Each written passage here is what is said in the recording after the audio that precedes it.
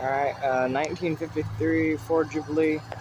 Right, uh, three plows. I'm assuming somewhere like 20-ish horsepower. I think it was 27. And now it's flying off in reverse. I think he's trying to clear out the road.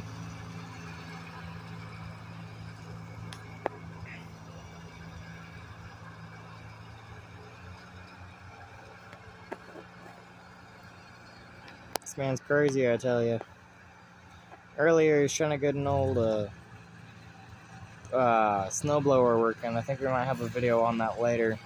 And then the belt blew up and got his hand caught and all sorts of stuff. Now he's got all sorts of bandages up his arm. Because he didn't properly do it. But oh well. Make a new line of snow right over the driveway. Yep.